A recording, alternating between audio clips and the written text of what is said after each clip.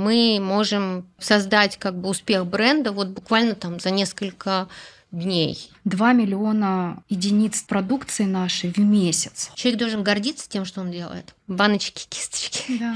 Я точно понимаю, что сегодня нужно, что сегодня не нужно. Косметика – это вечный спутник человека на всех этапах его жизни, становления. Поэтому, да, 25 лет я просыпаюсь утром, думаю про интершарм, я засыпаю, думаю про интершарм. Всем привет! Меня зовут Наталья Шик, и сегодня очередной наш а, бьюти-подкаст. Мы разговариваем о бьюти-индустрии серьезно, о ее создании. И сегодня у меня очень желанный для меня гость.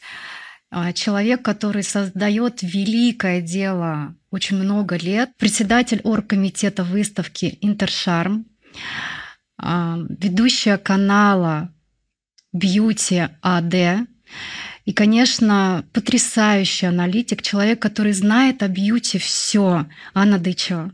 Привет. Когда я затевала эту рубрику, я точно думала, что я тебя позову. Я не была готова сразу, потому что разговаривать с таким великим человеком нужно набраться сил, смелости, информации, а о тебе, между прочим, вообще ничего нет. И э, мы все знаем, что ты создала огромное событие, мероприятие, масштабное, Интершарм – это то место, где люди все встречаются, потребитель с продавцом, продавец с производителем. И ты являешься тем человеком, который сводит этих людей, знакомит на протяжении уже 25 лет? Да. 25 лет. И я была у тебя на мастер-классе, и ничего более прекрасного я, правда, в своей жизни не слышала в бьюти. Это было настолько красиво, настолько мощно, настолько сознанием дела, что я хотела бы сегодня продолжить то мое послевкусие, которое я ощутила, посетив твой класс. Я была у тебя на мероприятии, когда Интершарму было 25 лет.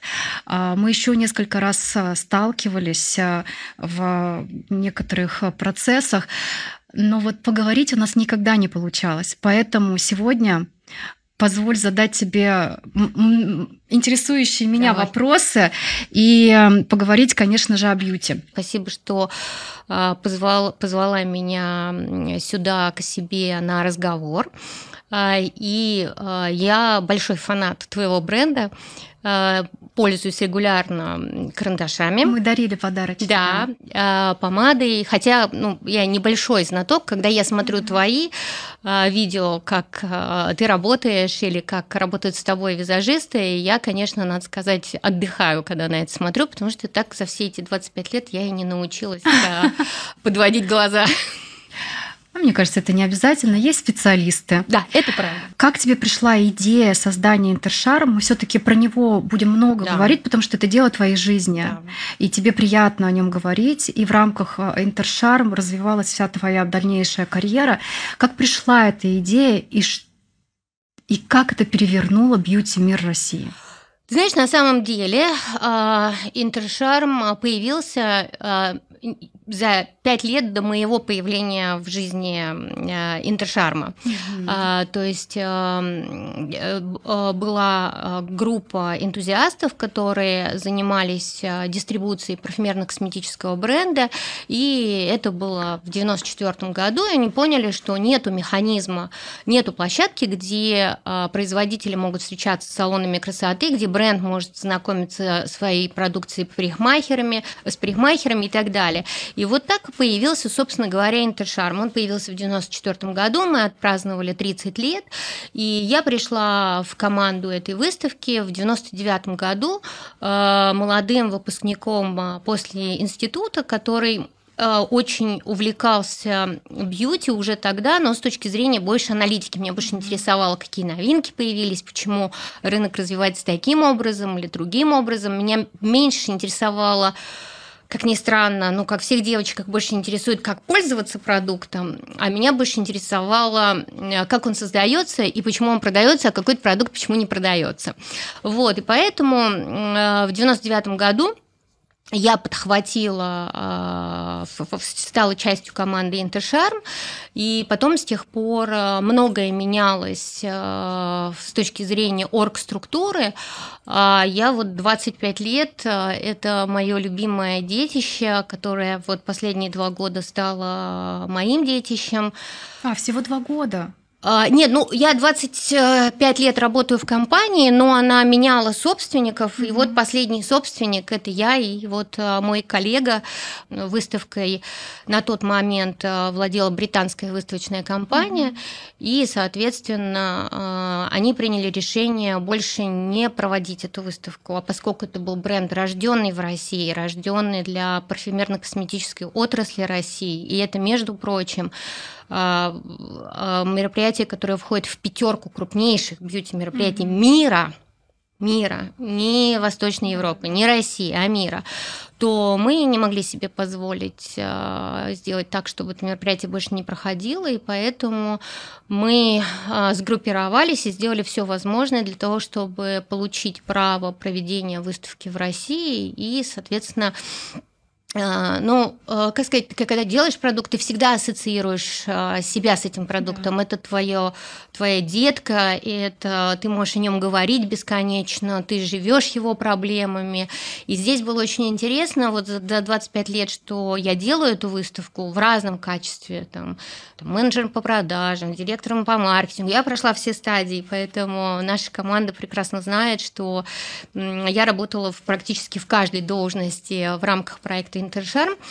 Эм, и вот эти 25 лет, э, как детка, он когда растет, у него разные проблемы роста, mm-hmm. да, когда он э, начинает осваивать какие-то новые навыки, когда он переживает проблемы там, роста, когда рынок вокруг меняется и как он должен к нему адаптироваться. И вот все эти 25 лет мне кажется, что Интершарм не терял своей актуальности, потому что мы всегда были таким а, не только местом встречи, но и таким маячком, да, показывая, вот смотрите, через 2-3-4 года вот этот вектор будет развиваться. Mm-hmm. У нас а, там на выставке впервые появилась там зона зеленой косметики.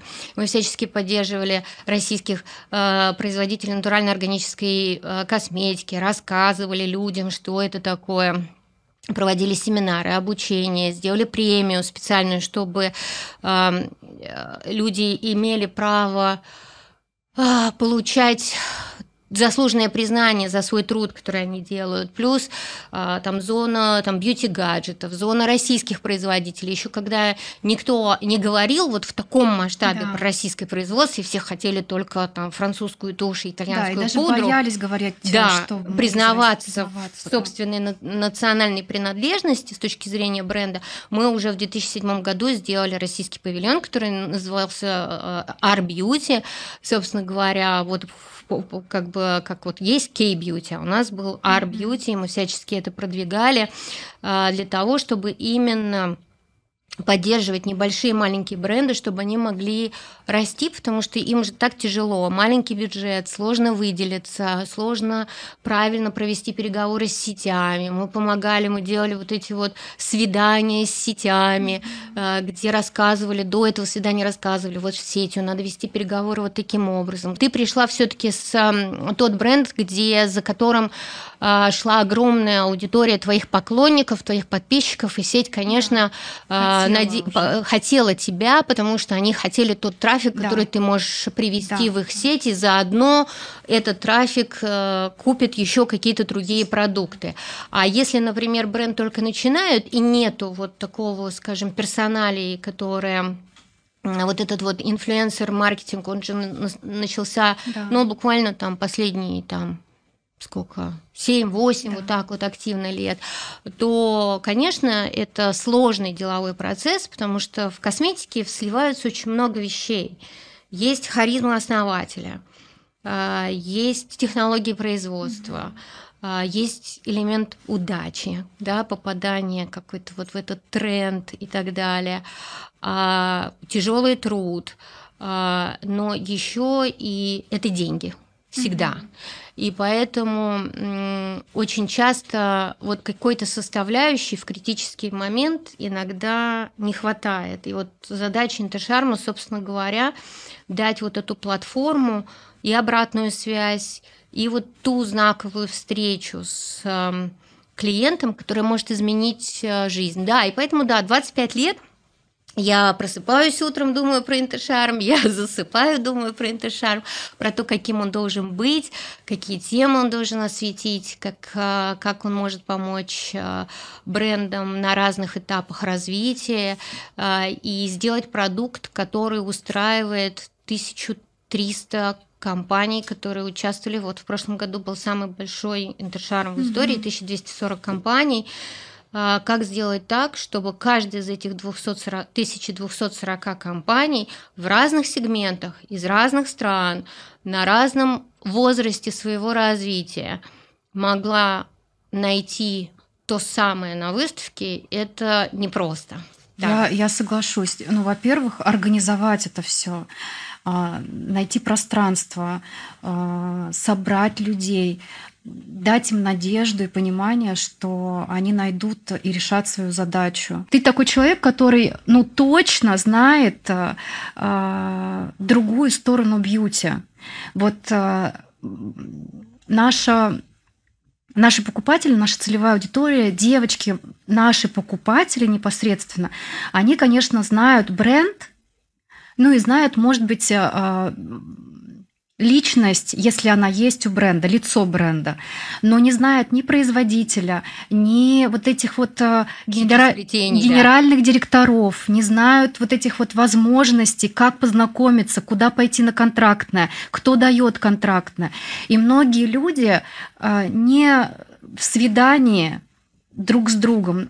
И, конечно же, э, если с тобой познакомишься, ты человек, который точно может сказать, вот ты делаешь это, а вот эти производят это, подружитесь и начинаете делать. Это я заметила, когда я была на дне рождения Интершарм, и было вот это мероприятие, где все друг друга знали, потому что знали тебя. Я была там белой вороной. Ну, неправда. Потому что... Тебя все знали, все хотели с тобой сфотографироваться, а, все говорили, пришла легенда. Я их просто не знала, потому что я немножко по-другому делала бизнес а, бьюти, именно продуктовый свой, не через вот а, внутренние российские процессы. А если бы я знала об этом, то я, конечно, бы раньше пришла сюда и больше бы получила. Как тебе сказать, мы жалеем не об ошибках, мы жалеем об упущенных возможностях. Да, да. да вот это то, что я всегда об этом говорю, и мне всегда хочется все а, иногда, если честно, ускорить события э, и сделать все а, быстрее, чем это требует время. Я э, не могу сказать, что а, я визуализирую свои цели, но я люблю их достигать, да, то есть я представляю себе, как оно должно быть, как вот должны сложиться вот различные кусочки вот той картины, куда я иду, и я буду упорно э, к ней идти, несмотря ни на что. Но, э, конечно, э, мир, вот это сообщество, где люди с друг с другом общаются, и действительно ты можешь сократить путь, угу. ты можешь сократить путь мытарств при выборе там какого-то поставщика. Ты можешь э, сократить э, э, путь, получив какой-то совет э, от коллеги, э, что вот там я вот это вот пробовала, да. это не очень зашло. Это не всегда, единственное, что это не всегда работает, потому что у каждого человека и у каждого бренда свой путь, свой собственный жизненный цикл. Знаешь, мне очень часто задают вопрос, вот на Тшам идет 4 дня. Угу чем, Аня, ты занимаешься другие 350 дней в году? А 350 дней в году мы делаем, собственно говоря, вот то, что вот эти 4 дня, они, они состоялись. Это мы ищем компании по всему миру, мы смотрим тренды, мы формируем конференцию. 4 дня мы, собственно говоря, собираем людей со всей страны, чтобы они именно внесли в свой график, нашли время приехать на Интершайм, посмотреть на новые бренды. И когда ты вот ведешь а, вот эти вот компании по, скажем так, предпринимательской жизни. Mm-hmm. Это, да, с очень многими людьми ты уже становишься там личным другом а, и дружишь по 25 лет. А, с другими ты поддерживаешься, стараешься там когда-то дать какой-то совет, когда-то э, действительно помочь э, там какими-то контактами, потому что Интершарм, конечно, большие у команды контакты и в Китае, mm-hmm. и в Индии, э, и мы всячески и в Иране, и мы смотрим на различ, различные сегменты рынка, и безусловно знаем основных игроков э, и, и, и, и помогаем развивать, как вот мы с тобой говорили, что твоя миссия это для того, чтобы сделать профессию, да, уважаемой, и чтобы в бьюти стремились люди, и чтобы это вот действительно была не история, которую люди воспринимают с ухмылкой, говоря баночки, кисточки, да. а что это вот э, действительно э, люди, которые работают в той сфере, которая ближе всего к человеку, которая поднимает ему настроение, которая может изменить его жизнь, mm-hmm. придать уверенности в себе, а, создать свое дело, быть независимым. А, и это же ну, так важно. И даже тут дело не в том, не в гендере, там, мужчина, женщина, а в целом, что это не просто а, иногда тушь или губная помада, это может за этим за всем стоит и тяжелый труд, и иногда способность придать человеку силы и энергии свернуть горы. Соглашусь. Вот. А сколько в команде человек? У нас достаточно большая команда. В принципе, у нас в компании работает 48 а, человек, но мы, кроме Интершарма, делаем еще, и это, наверное, будет большим удивлением для многих людей, а, что кроме Интершарма мы делаем еще 8 выставок в разных отраслях, начиная от инфраструктуры а, гражданской авиации аэропортов, заканчивая слезно-бумажной выставкой в Питере. Вот, да. И, а, и это тоже, кстати, очень сильно помогает, потому что ты видишь, как строятся другие отрасли. Mm-hmm. Понятно, что а, я очень много внимания уделяю бьюти, и с учетом моего блога, который я веду и рассказываю, который должен служить там вдохновением по-разному, кстати, ты сказал beauty AD. Я его когда придумывала, я подумала beauty ad. Э, ну, знаешь, непонятно, что иногда происходит, да. какие куча каких-то новинок, как в этом во всем разобраться. Мне показалось Анна Дычева. Анна Дычева, да. Ну, знаешь, такая игра слов да, Анна Дычева да. или Beauty Ad, как, как вот ад. Но мы между собой называем бьюти ад. Я просто постеснялась. Нет, я, я, да, я не скрываю, что иногда, конечно, э, я с сарказмом рассказываю про какие-то э, нов, новшества в отрасли, но он как раз служит для того, чтобы эм, быстренько одной строкой вот собственно говоря, давать людям вдохновение. Но сейчас не об этом. А я потом очень хочу да. поговорить о, о этом телеграм-канале, потому что он потрясающий. Я всем рекомендую на него подписаться. Спасибо. Там самые первые новости, которые вообще можно в бьюти увидеть. И каждый раз, когда я эти новости читаю, у меня вопрос, где этот портал, который дает тебе эту информацию, потому что мы, я вот об этом могу узнать, но, или не могу вообще узнать а, через какое-то время, а читаю у тебя это сильно раньше.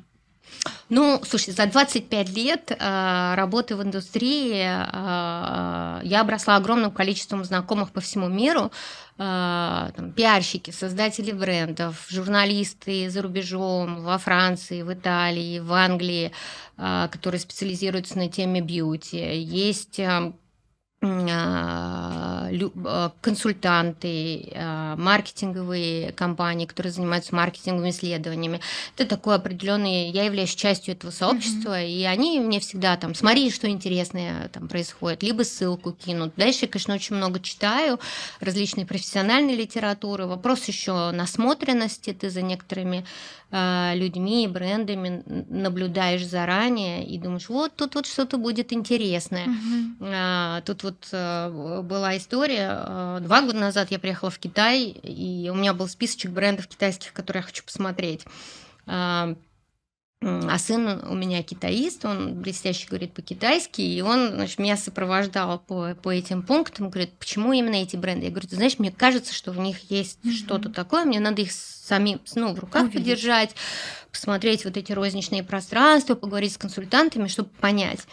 Вот. И вот буквально на прошлой неделе Лореалик купил доли в двух из этих брендов.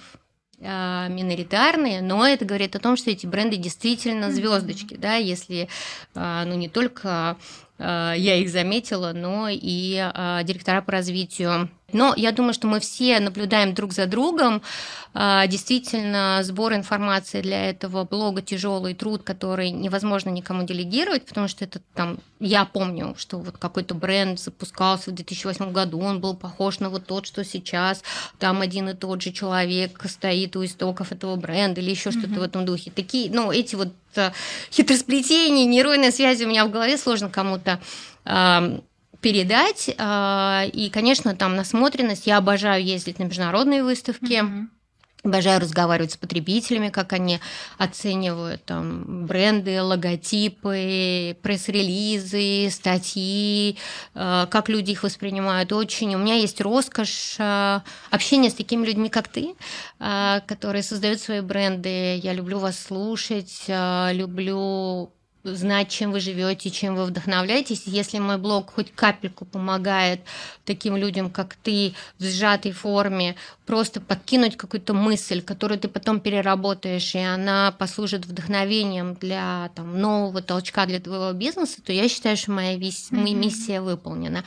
А с точки зрения команды Интершарма у нас работает 8 человек, которые делают экспозицию, а, два а, маркетолога, которые занимаются продвижением а, выставки вот для того, чтобы как можно больше людей в регионах, а, молодых предпринимателей узнали и приехали на Интершарм и два программных директора, которые создают программу конференционную для разных сегментов. Ты же знаешь, Интершарм это я не знаю, 8 выставок в одной, и косметологи, и визажисты, и парикмахеры, и мастера маникюра, и производители, и поставщики сырья, и ритейлеры. И нужно сделать так, чтобы им всем, этим людям очень разным. Где химик-технолог на косметическом предприятии и, например, э, там, я не знаю, э, стилист. Mm-hmm. Разные интересы, разные форматы заходят им, и поэтому мы должны создать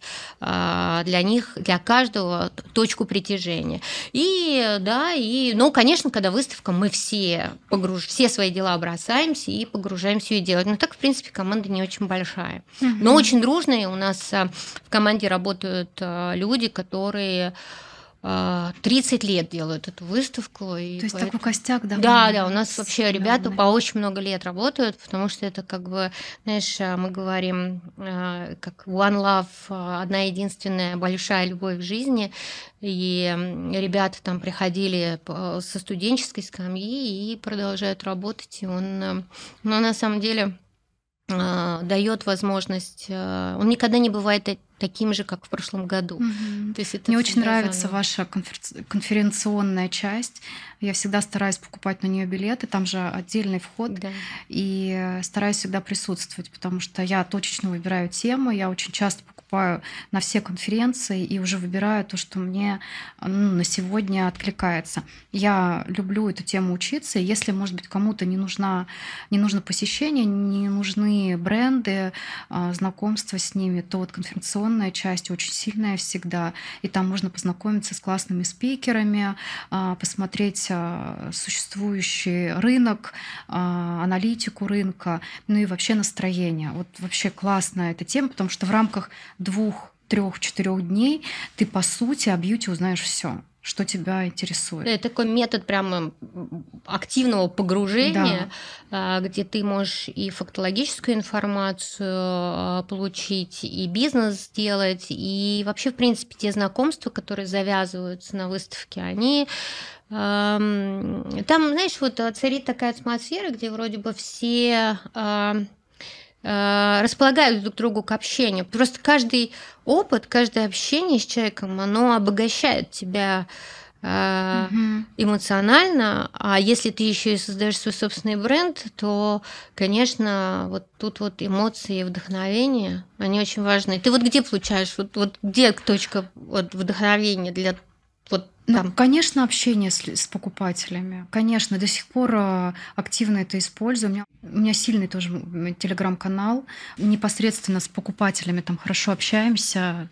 Но я даже их не могу назвать покупатели. Ну, это скорее, наверное, твое, твое комьюнити, да? Комьюнити, Потому что ты, да. наверное, вот э, один из немногих таких брендов в России, который построен вокруг комьюнити. Э, и мы непосредственно общаемся в телеграм-канале. Мы создаем продукты. Мне даже не надо. Вот Наташа говорила о том, что она очень много тратит на маркетинговые исследования. Я ни разу в жизни их не проводила. И я, конечно, не согласна, но не, не то, что ты так не делай, а не согласна в рамках своего бренда это делать. Потому что ко мне, когда пришел очень сильный маркетолог, она тоже говорила, что нужно делать маркетинговые исследования, но проработав пару месяцев, она сказала, в этом бренде не нужны они.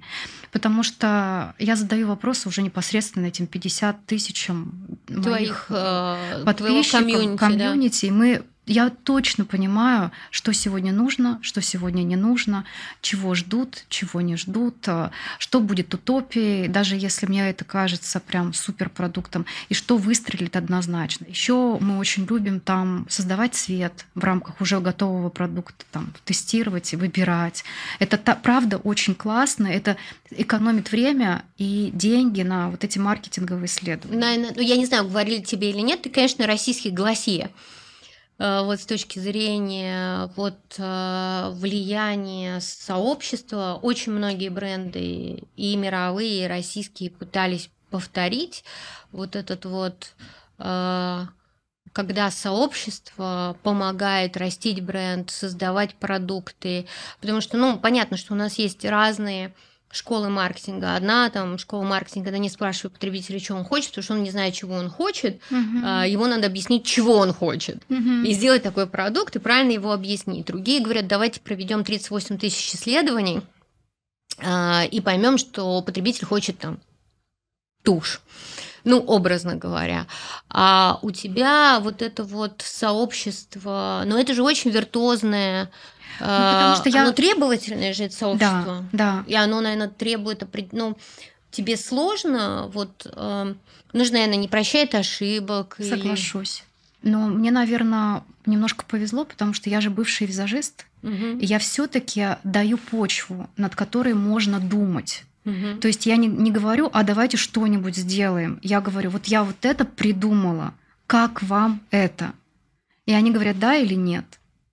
Если говорят ну, какие-то комментарии про нет, я думаю, а что здесь можно исправить? Угу. Исправляю, предлагаю еще раз. Многие уже не помнят, что это когда-то предлагалось но это уже какой-то другой вариант, и он может очень сильно залететь. Там по упаковке особенно, потому что текстуры и качество тяжело передать а, через а, Слова картинку. картинку да. да. А вот визуал, конечно, мне очень коллеги, ну я их уже прям коллегами называю, потому что мне действительно мое сообщество а, мой телеграм-канал. Многие из них, когда выбирали этот цвет, этот оттенок, и его все-таки бренд выпускает, они его хотят приобрести, потому что они его выбрали, они его сделали. И мне кажется, это очень а, красивая ну, такая мурашки, история. Да, и а, как будто бы я даю возможность этим 50 тысячам женщин и мужчин, там тоже есть мужчины, быть немножко созидателем бьюти большой истории. И я с радостью делюсь. Мне многие говорили, у меня сейчас очень много заявок для того, чтобы я делала, помогала им бренд. И ну, через свой завод, угу. который мы еще не достроили, но он в планах в этом году запуститься. У меня немножко а, не вышел запуск в этом декабре, потому что я поняла, когда начала делать завод, огромное количество запросов на контрактное. Да, это правда. Огромное. Особенно на малотиражный контракт по декоратив. Да. И я поняла, что то, что мы по квадрате по квадратурам сделали, мы уже сами в это не вместимся. А это большая квадратура. Мы сегодня в месяц делаем э, два, уже на российских контрактных, именно в рамках разлива, 2 миллиона единиц продукции нашей в месяц.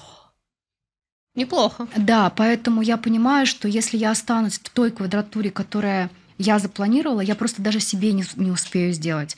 И мы там немножко расширяемся. То есть не успев открыться, решили расшириться. Да, да. Молодцы. Да. И поэтому немножко задержка такая. Ну и станки идут из-за вот всяких событий немножко Ну да, сложность сложности. с логистикой. Но да, конечно, это вот удивительно, потому что так много сейчас говорят про создание вот сообщества, там личного бренда. А, но это тяжелая ответственность, с одной стороны, да, и если но бы, и если бы меня спросили, имея мой опыт, запускалась бы я с личным брендом или нет, но имея все знания, которые у меня сейчас есть, я бы не запускалась с личным почему? брендом.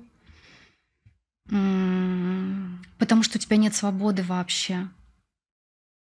Я бы запускалась, возможно, через какую-то экспертность свою, но вот называть свое Свой продукт своим именем. именем у меня- великая ответственность, великая сила и постоянное присутствие. У нас был круглый стол на Интершарме этой осенью, разговаривали с двумя создателями брендов, чье м, их имя в, в- в названии бренда. И вот они примерно говорили о том, как их закалил этот жизненный опыт. Нет, ну я, конечно, А. железная внутри. Да, как закалил, а, и что а, критика в адрес продукта всегда переносится там на личность, и, и, и, может быть, и сам и человек не хочет ее перенести, а ты как бы ее автоматически транслируешь, да, и что это требует определенного силы духа для того, чтобы это ну, достойно перенести и конвертировать а, в позитив и в улучшение продукта, но это Мгм. такой этап взросления, да, достаточно интересно. А ты вот говорила, что люди хотят у тебя, чтобы ты их консультировал по созданию своих брендов. Это люди с большим медийным бэкграундом. А, Они хотят делать хороший продукт, а не тот, который им предлагается на просто Ну, да, как на мясорубке. А Почему ко мне обращаются? Потому что видят, что я каждый продукт дорабатываю, каждый продукт разрабатываю. У меня каждый продукт выстреливает. У меня нет э, продуктов аутсайдеров. У нас, у нас продуктов категории А сильно больше, чем, чем э, Ну да, чем- э, Б и С. И это ну, уникально для бренда. И, конечно, они хотят. Я не могу согласиться на это, потому что у меня нет ресурса. Да. Я строю завод, я Да, в дне, к сожалению, только 24 часа. да, я э, запускаю 13 марта новый бренд Эстепик. Это э, такая забота о теле. М. Я запускаю в мае Наталья Шик бренд премиальной косметики. Рынок пустой у нас на, на российском рынке. Премиальный уход или премиальный декоратив? Декор, премиальный декор, он у меня долго лежал в сундуке.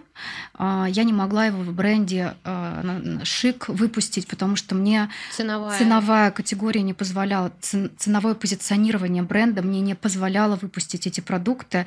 А, Там себестоимость была выше возможной, которую я могу позволить себе в бренде в рамках этой ценовой категории. Вот если ты была на всех выставках, то я была практически на, На всех всех, заводах. заводах. И я не могу сегодня этот продукт, не могла позволить, потому что я в рамках бренда Шик не могла позволить это ценовое позиционирование. А если мы говорим о тенях Dior, Том Форд, а, Шарлотт Тилби. Шарлотт Тилбери э, сегодняшний там фаворит, да, то это все-таки даже не заводы, а формула, которая стоит очень дорого. Да, это правда.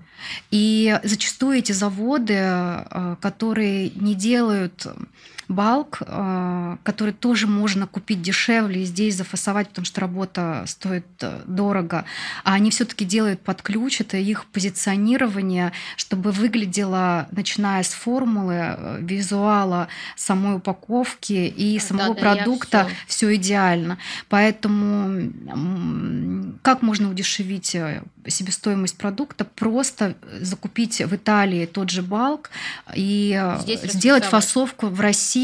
Мы ну, уменьшим стоимость. И по сути можно э, люкс, который есть в люксе, позиционировать в middle сегменте. Ну и я в шик так делаю. Потому что у меня формула, особенно фондейшн, пудры очень дорогие, но я заказываю балк и уже на производстве фасую. Интересно.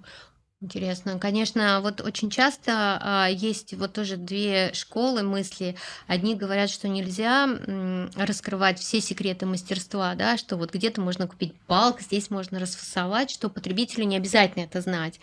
А, мне кажется, что сейчас современный потребитель, он хочет понимать, да, вот а, ты тесно общаешься со своей аудиторией, и нам тоже кажется, что сейчас а, глубина желания понимать бизнес-процессы у потребителя и из чего складывается стоимость продукта. Единственное, что мы не всегда правильно доносим на эту мысль, потому что там люди делают разборы составов, но не всегда в полной мере понимают особенности. Да? Мы не можем по инкам судить состав да. продукта, потому что процент ввода ингредиентов настолько а, разный, не прописан, и в рамках инк, инки ты не поймешь. Да, и сочетание продуктов, я да. все время говорю, борщ, он у, кажд... он у каждой делается из э, там шести ингредиентов, они одни и те же, но только свекла иногда разная, у кого-то есть какой-то маленький там ингредиент, который добавляют, не случайно говорят, вот я люблю твой борщ.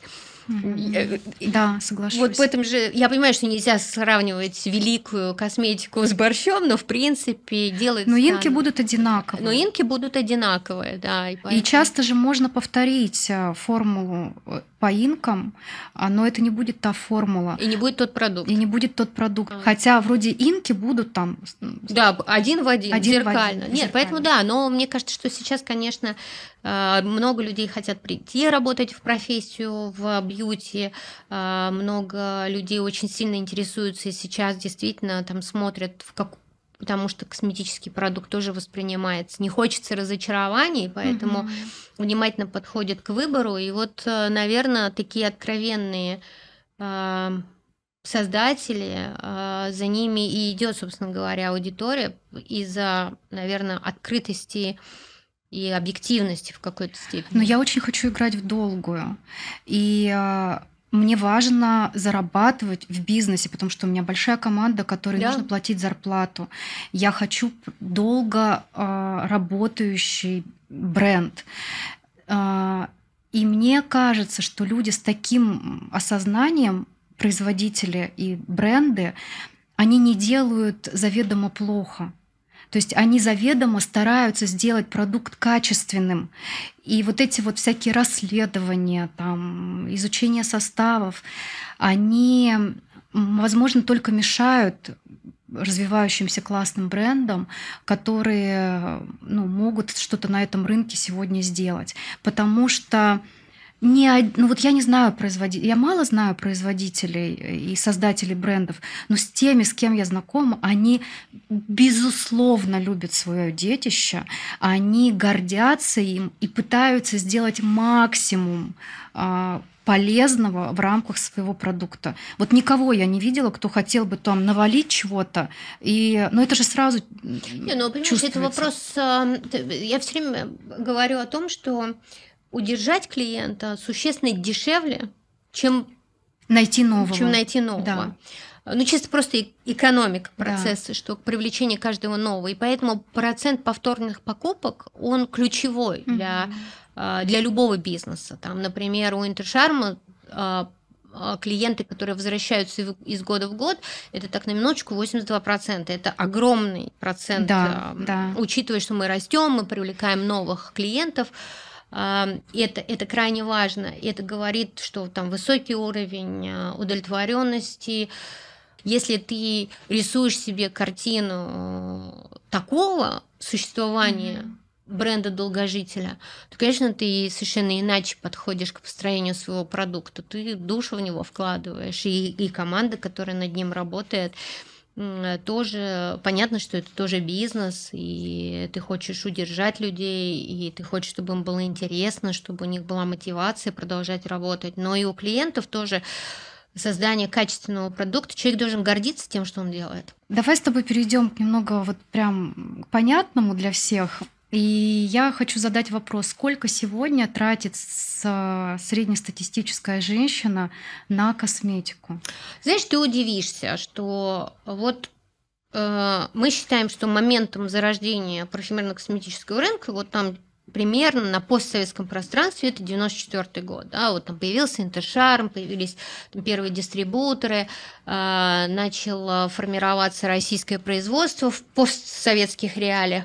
И вот 30 лет мы жили, развивались у нас и розница, и специализированная, и мегамаркеты, и онлайн-продажи развились, и так далее, и так далее. А вот четкой статистики по рынку так и не появилось. Mm-hmm. То есть вот 30 лет спустя а, у нас все время экспертные оценочные данные. Но сейчас вот появились данные, например, там а, там системы там, банков, фискальные и так далее, mm-hmm. которые считают. Ну, в среднем средний чек варьируется от 3500 до 4700 на душу населения в год. Но душа населения у нас mm-hmm. население большое, это и младенцы, и пожилые люди. А, понятно, что кто-то тратит и там 50 mm-hmm. тысяч в год, а кто-то и там 3 тысячи. Но в среднем вот мы можем сказать, что а, а, но среднестатистическая а, европейская женщина тратит, если мне не изменяет память, в районе 160 евро в год на душу населения. Угу. Вот, а у нас, ну, вот там 4,5, Сильно 4700. Да? А вообще какой объем рынка? Ну, объем рынка где-то порядка сейчас 11 миллиардов долларов США. Мы входим, в принципе, в десятку крупнейших э, рынков парфюмерно-косметических. Угу. У нас это прежде всего связано с тем, что мы не отстаем по количеству продуктов, которые мы покупаем. Угу. У нас может быть цена продукта ниже. У нас больше, ну, наверное, лучше, чем у нас, развита онлайн покупки, наверное, только в Китае. Потому что мы, конечно, в этом плане сильно опережаем а, европейский рынок с точки зрения вот скорости доставки. И даже американский? Ну, американский, он, конечно, тоже сильно, э, тоже развит. Я сейчас больше про европейский угу. говорю. И поэтому что у нас есть? У нас нету, э, скажем, каких-то среднестатистическая российская женщина очень восприимчива к новинкам. Она очень восприимчива к продуктам из красоты. Она хочет экспериментировать. Она обладает э, аналитическими способностями сравнивать несколько продуктов угу. вместе, с друг с другом, угу. э, доверяет советам э, друзей, знакомых и семьи. Э, но э, понятно, что средний чек, э, тот, который мы тратим на отдельно взятый продукт, будет ниже, чем у среднестатистической европейской женщины. Но нужно еще сказать, что мы больше пользуемся косметикой. Соглашусь, мы покупаем и пользуемся. И пользуемся, да, потому что вот вопрос, что покупка же не всегда равно пользоваться. А мы активно пользуемся косметикой, мы, оцениваем ее плюсы и минусы. Mm-hmm. Да, у нас есть э, классические ошибки, и они есть у всех. Это общемировая проблема. 81% женщин не в состоянии определить правильно свой тип кожи. Mm-hmm. И поэтому, когда вот... А знаешь, это только российские женщины? Вообще. Все. Глобально. И тут, когда меня спрашивают, вот я пользуюсь, вот э, там, ну, вопрос, который меня всегда ставит в тупик. Это когда моя подруга звонит, я говорю, я сейчас в парфюмерно-косметическом магазине, какой крем мне купить? Ну, согласись, да, сложный да. вопрос. Или там, что мне купить дочери, какой цвет глаз у дочери, какая кожа у дочери, сколько лет дочери и так далее, и так далее. Ну, даже декоративную косметику подобрать ты вот так вот, ну, да. не сможешь. И, соответственно, тут же возникает вопрос, что ты э, э, то, что подходит тебе, не факт, что подойдет твоей ближайшей подруге, потому что у вас может быть там и разный возраст, разный гормональный фон, разный климат, в котором вы живете, и разный тип кожи. И вот это вот э, я купила крем, и он плохой, потому что он мне не подошел, эм, не всегда справедливо по отношению к создателю бренда, потому что э, если ты купил обувь, которая тебе не подходит по размеру, угу. это ну, не значит, что туфли плохие Ну, согласись, да, бывает соглашусь. такое. А, то же самое и что я надеюсь очень сильно, что технологии, которые будут развиваться, они позволят нам э, правильно определять свой тип кожи, вот эти все различные гаджеты, которые сейчас есть, да и в принципе доступность косметологов э, по, по всей стране э, всего лишь навсего определить тип кожи, и уже чуть проще ты сокращаешь себе процент ошибки, который ты делаешь при покупке. Вот, поэтому да. То есть больше заниматься образовательной деятельностью в том числе. Больше, больше понимать себя и слышать, что, что нужно твоей коже и какая она твоя кожа. Вот, а так э, рынок растет. Э, он растет, конечно, не так, как он рос в 2000-х. А, а все-таки произошел какой-то рост с уходом, именно рост российских брендов с уходом иностранных брендов или нет? Ты знаешь, я слышала, что в, в прошлом подкасте Наташа Ракоч меня цитировала, когда говорила, что было несколько окон возможностей для российского производства. Да, сейчас огромное окно возможностей для российских производителей, оно связано целым рядом вопросов. Ну, на самом деле, первое, это видимая ситуация, что очень много брендов ушло. Очень, есть бренды, которые ушли-ушли, есть бренды, которые ушли, чтобы остаться. Есть бренды, которые работают в тишине, и это, ну, на самом деле, может быть не очень хорошо, потому что они э, в большей мере не могут доносить потребителям преимущества своего продукта, заниматься образовательной деятельностью и так далее. Но с другой стороны... Но для можно я вот да. ремарочку да. вставлю?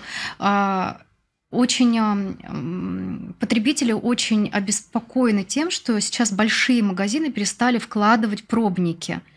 А перестали они вкладывать пробники, потому что это была маркетинговая поддержка от брендов, которые сейчас, а это были зачастую иностранные, иностранные бренды, бренды, которые бы сейчас в тишине и не имеют возможности давать вот эту маркетинговую активность. Поэтому, покупая продукты в магазинах, Пол, ты должен инвестировать в полный размер, не име, в полноразмерный да. продукт, не имея возможности да. его попробовать. Да, и это тоже как бы и минус. А, для, для, для бьюти-бизнеса, для, для, развития. Да, да, пробовать это очень важно. Сейчас мы видим действительно ренессанс а, российского производства, и э, он связан с несколькими вещами. Первое, изменился потребитель. Он не так критично относится к национальности бренда. Да? да. То есть это... Мы сейчас ок к российскому да. бренду. Мы вообще, в принципе, ок к бренду, который отвечает нашим ценностям, открытости, соотношению цены и качества. Наверное, на э, где сделано, мы смотрим, наверное, там в послед... пос... ну, не ну, в последнюю, там на третьем, на четвертом месте да. в списке критериев. Это первое. Это вот то, к чему мы шли последние несколько лет, и усилия твои. Я не стеснялась говорить, что это российский бренд. Вообще никак. Ну, то есть я не понимала тенденцию. Для меня важен был продукт, потому что страна-производитель для меня всегда на последнем месте.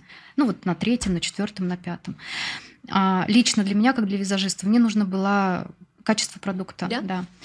И я не стеснялась говорить, что это российский бренд, но вот сейчас это как будто бы даже классно. Это предмет гордости, да, да? но это вот за счет таких пионеров, как вы, и, и, мы, и мы на Интершарме тоже всегда старались подсветить да, я слышала производителей это, да.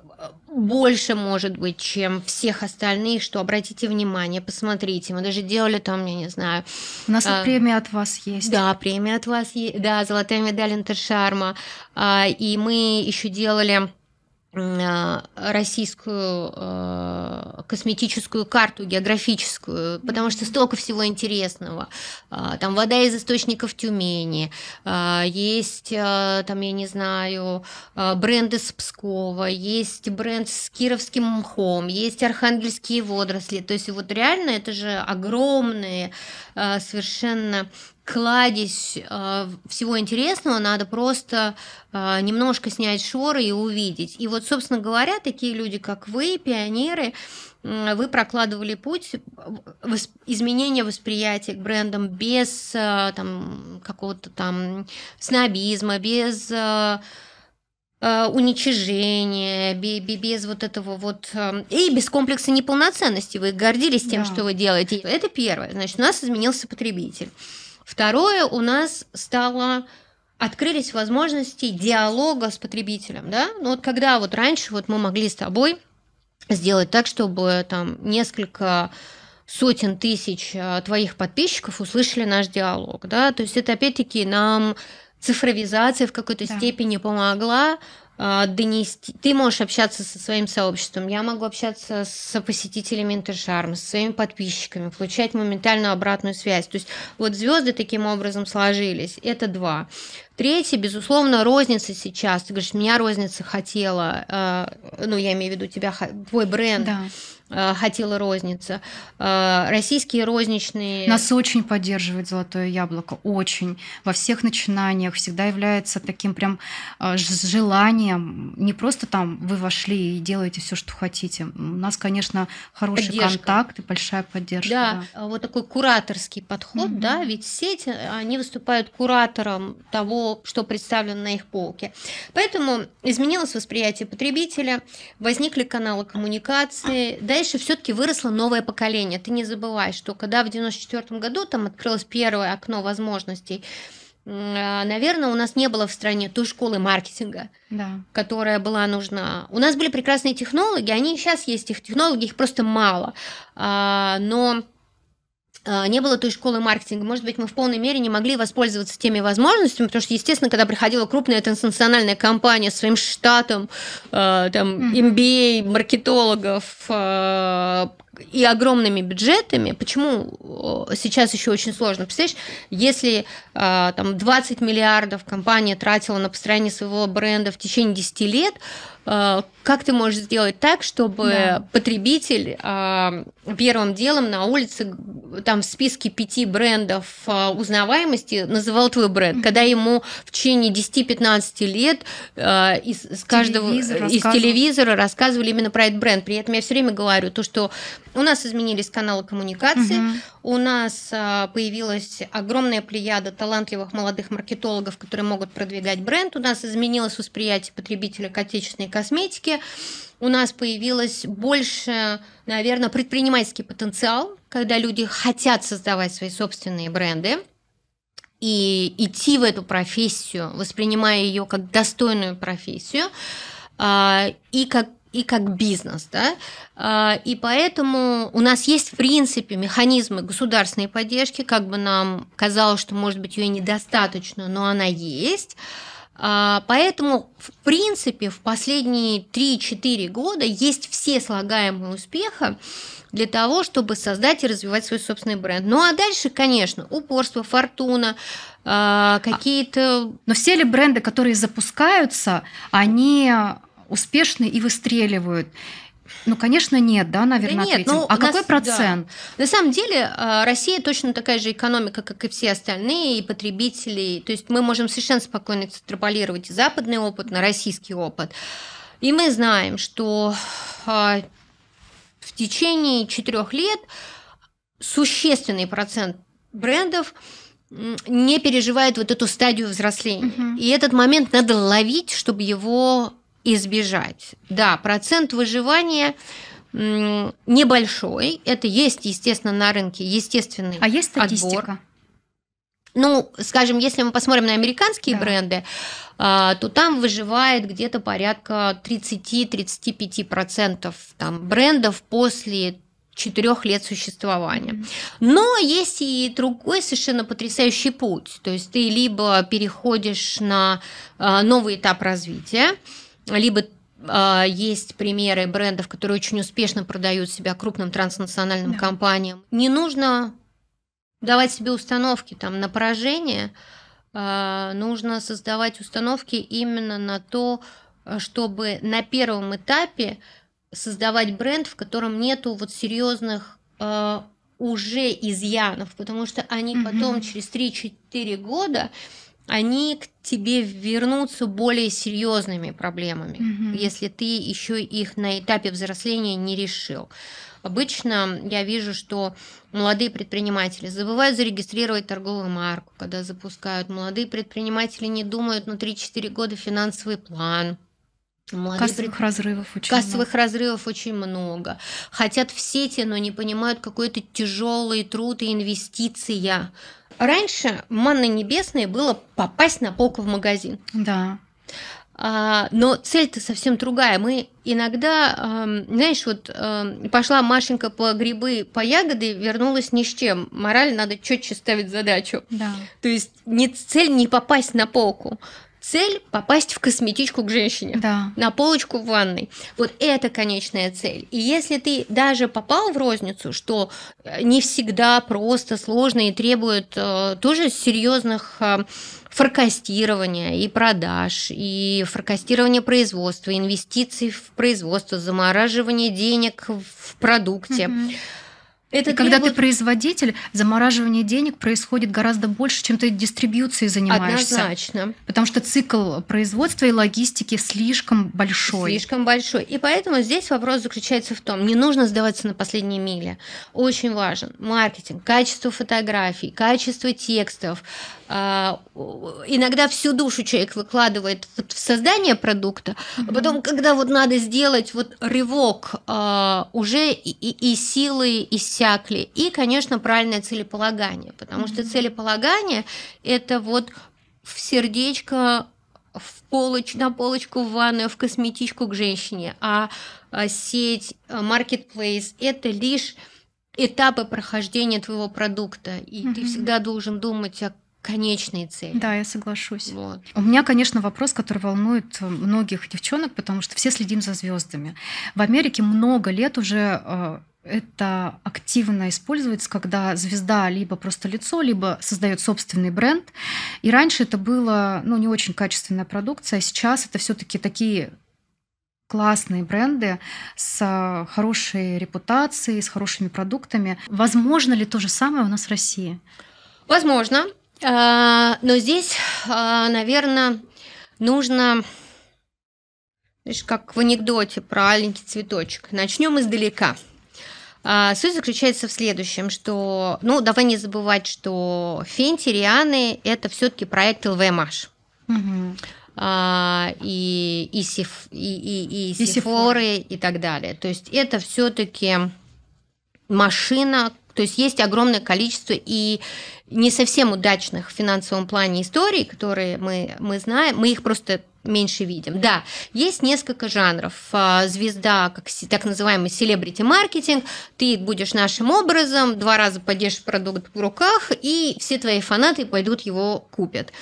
Есть э, другой способ, э, когда человек сам создает свой бренд. Но когда человек сам создает свой бренд, после... почему мы видим так много успешных историй последние несколько лет? Потому что появились специальные инкубаторы, угу. бизнес-инкубаторы, куда звезда не всегда сама вкладывает свои деньги, а в деньги в этот инкубатор вкладывают венчурные инвесторы э, или инве... ангел-инвесторы и так далее. И в этом инкубаторе есть не только деньги, но и экспертиза в области маркетинга, производства, упаковки, розницы, ритейла. И это прямо вся команда сплачивается вокруг э, этого селебрити и начинает э, создавать ему э, как конструктор вот этот вот бренд э, со всеми вытекающими отсюда э, деталями. Эта же команда а, может делать а, на заказ а, кому-нибудь mm-hmm. другому, кто не хочет аффилировать свой бренд своим именем. И вот эти вот инкубаторов, их сейчас очень много. Моя мечта это создать в России, пытаюсь уговорить несколько крупных российских производителей косметических, чтобы они инвестировали, ну, помогли, сделали такие инкубаторы для стартапов, чтобы можно было их развивать именно не с точки зрения финансов, а с точки зрения вот этой вот команды, угу. где не только деньги, но и экспертиза, знания, опыт, и а, чтобы это вот была действительно инкубаторская такая история. А, ну, может быть, когда-нибудь мне удастся осуществить эту мечту. И мне еще кажется, что та вещь, которая у нас еще в России пока нету, это когда потребитель выступает соинвестором бренда, да, то есть либо это в форме краудфандинга, да, либо это в форме действительно, когда ты видишь какой-то продукт, и ты можешь, или какую-то концепцию бренда, и ты можешь заранее инвестировать в него и, и стать его совладельцем и смотреть, как он растет. У нас пока а, вот такой вот а, инвестиционный потенциал потребителя, где ты не только тратишь деньги на помадку, но ты и инвестируешь mm-hmm. в свой, ну не в свой личный косметический бренд, а в некий бренд как бизнес и смотришь, как он развивает. Давай вернемся в момент, когда Интершарм mm-hmm. Получил русское да, прописку. Русскую прописку, как это произошло и как это удалось, и а, ну вообще вот этот механизм, и вы же, мне кажется, изменили даже название. На один год, да. Да. Ну, дело в том, что в Интершарм появился, соответственно, в 94 году, и он а, существовал, а, это российский бренд, он, его делала российская компания, но потом в декабре 2007 года собственники приняли решение продать э, эту выставку э, крупнейшему в мире зарубежному выставочному организатору, собственно говоря, Reed Exhibitions. Э, Какие и... у них еще в портфеле выставки? Очень известные есть выставки, есть выставки, которые знают очень многие российские а, технологии и производители. Это выставка, например, In Cosmetics. Угу. Это выставка сырья косметического, которая очень много лет а, да, проходит да. по всему миру. И это, это, эта компания делает выставки, 500 выставок по всему миру. И вот, собственно говоря, Интершарм стал угу. Одним из этих проектов, который был куплен в России. Но в марте 2022 года по понятным причинам английский собственник принял решение больше не проводить а, выставки в России, решил уйти из России. Соответственно, наша команда не смогла допустить того, чтобы бренд российский, рожденный на российской территории, который был создан для развития российского парфюмерно-косметического рынка, так вот закончил свое существование, и поэтому а, мы достигли а, договоренности, и, соответственно, наш а, трудовой коллектив возобновил. У нас была небольшая э, техническая пауза, когда мы проводили э, выставку под названием «Иншарм». У нас как раз тогда происходило э, переоформление документов на право собственности бренда. Вот, и наша детка вернулась домой на ту, собственно говоря, почву, где он был рожден. И... Вы выкупили?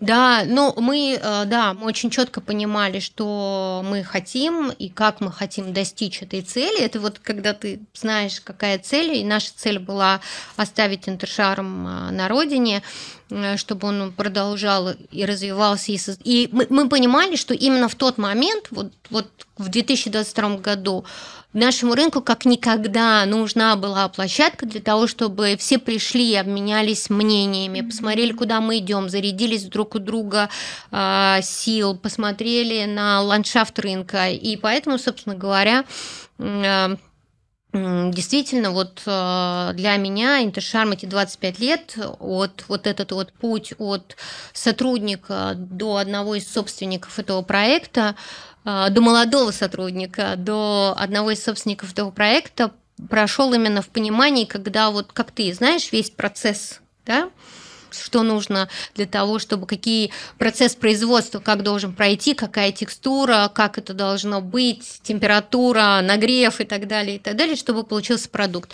Так, собственно говоря, а, и, и у меня, но самое главное это вот те письма посетителей, экспонентов, которые мы получаем, где Э, мы можем перевернуть э, создать как бы успех бренда вот буквально там за несколько дней. Я почему-то была всегда уверена, что это твое дело. Знаешь, оно было моё, моим делом не по да. не по бизнесу, не по бизнесу, а потому что вот у человека должна быть страсть к работе. Нужно реально, чтобы тебя перло от того, что да. ты делаешь. Ты иногда устаешь, это правда, но тут рядом должен, должны быть люди, и, и то счастлив тот человек, рядом с которым есть люди, которые в сложную минуту могут сказать так, не вешаем нос, угу. а, все будет хорошо. Они, может быть, и не уверены, что все будет хорошо, но ты сразу начинаешь в это верить и двигаешься вперед. Вот в этой всей истории какую роль для тебя играет твой блог? Он, по-моему, не монетизируется. Или он монетизи... практически не монетизируется, он только недавно э, в нем начала появляться реклама, которую mm-hmm. я очень активно маркирую mm-hmm. и сразу ну, да, даю понятно. своим читателям понять, что это рекламная интеграция.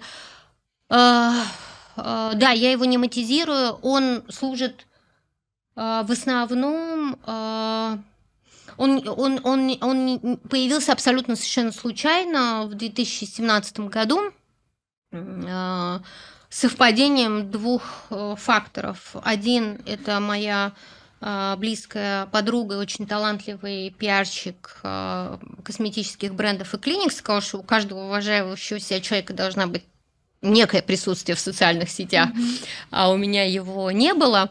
А, и еще мне очень часто звонили косметические производители и дистрибуторы по вечерам домой с словами, слушай, мы не хотели тебя беспокоить на работе, у нас завтра там большая стратегическая сессия, или там я еду в командировку, так, скажи мне, что нынче модного в шампунях, что, значит, какие тренды, а, какое сырье сейчас популярные, какие есть интересные бренды, что там на выставке посмотреть, с кем может быть договор какой-то заключить. И вот у меня веч- вечер дома превращался э, в, там, в, в лекцию, в какой-то рассказ. И э, возникло ощущение, что если я буду публиковать э, какие-то свои мысли и какую-то такую информацию mm-hmm. по трендам, то я просто ну, сэкономлю себе немножко времени по вечерам. Вот. Э, но я, если честно говоря, не думала, что это превратится в отдельный, огромный личный проект, потому что я его делаю самостоятельно. И моя задача находить э, как, бы, как можно больше необычной информации, которая э, действительно профессиональная, которая может служить вдохновением. Mm-hmm. Вот прежде всего, вот здесь позаимствовать идею, здесь посмотреть, здесь увидеть, что есть, э, понять какой-то вектор развития потребительских предпочтений, учитывая, что очень много же происходит методом перекрестного опыления. Да. То есть вот мы видим, например, какие-то тренды в ресторанном бизнесе, в бизнесе бизнесе, связанном с едой, в фитнесе, в моде. Это же все так или иначе перекочевывает в наш бизнес, э, в бьюти-индустрию. И главное, правильно это увидеть, предугадать и вписаться, собственно говоря, э, в тренд и смотреть какие-то лучшие так называемые best practices, как можно оформить сайт, как можно выстроить коммуникацию э, с потребителем, как лучше написать пресс-релиз, э, как не делать вот таких ошибок и так далее. Поэтому это превратилось теперь много лет спустя в постоянную а, работу, поскольку только 24 часа в сутки а, хочется не просто поверхностно писать посты, потому что у меня очень требовательная аудитория, если а, в основном а, сила бренда заключается в том, тут написала, а, сила, сила блога заключается в том, что тут недавно увидела просто новость а, в каком-то информационном агентстве, что предприятие из Кирова, их косметика будет принимать участие в эксперименте на, на МКС. Угу какое-то непонятное было название, ООО и так далее. Я, значит, пишу в блоге, а, вот такой-то ООО даст свою косметику для а, испытаний на МКС. Дорогие представители компании, если вы меня сейчас читаете, напишите мне, пожалуйста, расскажите поподробнее. Проходит 9 минут. Генеральный, генеральный директор компании мне уже пишет в личку, это мы, а, вот, значит, мы действительно даем свою косметику угу. на МКС и так далее, и так далее, и так далее. И люди иногда не ожидают то, что я о них а, например, там что-то напишу, я, безусловно, э, как сказать, всегда, никогда не пишу какие-то жареные факты и всегда уважаю приватность э, компании и коммерческие тайны, потому что, конечно, очень часто мне многие доверяют, потому что я очень многих людей знаю, но они, все, они знают всегда, что у меня всегда все, что мне сказано, угу. пока мне не разрешат об этом рассказывать, я никогда э, об этом э, никому говорить не буду. Но вот такой вот профессиональный рупор, он нужен. А, мне кажется, я это делаю не для развития личного бренда, а, а скорее для... Потому что в моем случае это вопрос а, бизнес-репутации, не то, чем я живу, а те профессиональными навыками, которые я обладаю, знаниями, которые я обладаю, и как это отражается на том продукте, который делает наша команда Интершар. Mm-hmm. Вот это для меня важно. Ну и блог очень сильно вырос, мне кажется, да. даже за год. Да, там сейчас больше 50 Да. тысяч подписчиков. Это неожиданно для меня. И ам, Потому что новости а, расходятся по Телеграм, и люди переходят, и да, там очень много пересылок, много. А канал «Цена красоты» — это ваш? Не, нет. Почему-то всегда вот вас, а, ну, как бы... с- Дело в том, что, к сожалению, иногда новости из моего канала через какое-то время Там. там появляются, И и у меня поэтому так было... некоторые люди считают, что цена красоты это официальный канал, который как бы имеет ко мне какое-то отношение. Мгм. Нет, он не имеет ко мне никакого отношения. Скажем так, что иногда мы просто пишем об одних и тех же вещах. Мгм. И, конечно, заканчивая уже этот подкаст, хочется спросить, а какие тренды нас ждут? Тренды. а, Самое интересное, что сейчас нету одного, одного основополагающего тренда. Вот это вот главный тренд современности заключается в том, что если помнишь, а, там во времена 25 лет назад каблук только такой, нос у туфель только такой, помада только такая, сейчас а, тренд на полифоничность, на то, что в целом очень много различных субкультур и различных веяний, которые нормализуют и делают модным много противоречащих между собой вещей. И вот, наверное, основной тренд – это противоречие. Медленная красота, быстрая красота, а, а, скин-минимализм и обилие различных слоев. Но в целом, я думаю, что сейчас тренд вращается да, или еще там натуральность, высокотехнологичность Да. косметических средств. Вот пока весь мир метался между вот этими э, историями, больше тренды вращаются, как мне кажется, не вокруг продукта, а вокруг потребителя. А, какой он, чем он живет, что ему нужно, какие у него ценности, что у него с зеленой совестью, что у него, э, как рачительно он подходит к тратам, какую культуру он больше любит, какие сериалы он смотрит. А, И поэтому все меньше мы говорим, мне кажется, о трендах в продуктах, сколько мы говорим о том, что косметика – это вечный спутник человека на всех этапах его жизни, становления.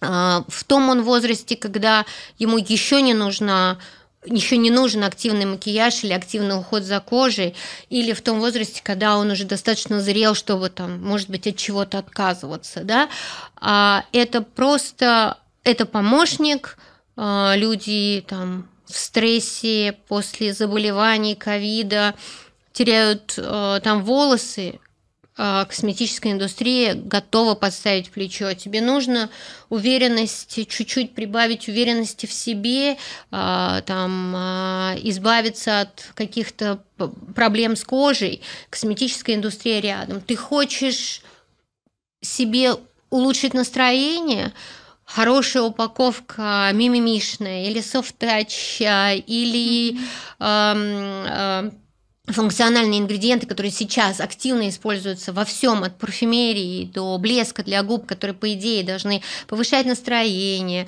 способ- повышать работоспособность и так далее, там, духи, которые снимают головную боль.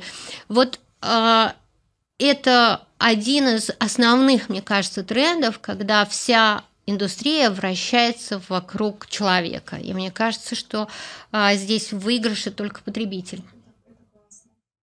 Вот. Спасибо огромное. Спасибо. Мне было очень приятно, и мне как будто мало оказалось. Я считаю, что это действительно уникальный подкаст, и кто его посмотрит, вдохновится. И, конечно же, подписывайтесь на канал, ставьте лайки, пишите внизу, какого гостя вы еще хотите у меня увидеть. Не забывайте переходить в социальные сети Канни. У нее потрясающий блог в телеграм-канале. Тоже сделаем ссылочку. Спасибо, огромное. большое. Спасибо. Спасибо.